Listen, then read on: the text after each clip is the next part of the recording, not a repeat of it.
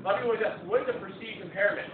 What, those are a lot of situations we can think of where the employer, the individual doesn't know the person's disability is, but they just assume that they have one, or they treat them as if they have one. Even if you don't, that can be a basis. And a lot of people forget that one. This happens a mm-hmm. lot working